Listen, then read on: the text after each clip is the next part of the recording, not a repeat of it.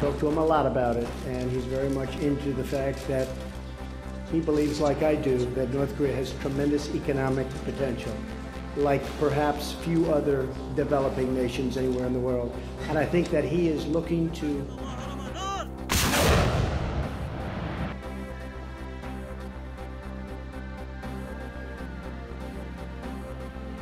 Österreicherinnen und Österreichern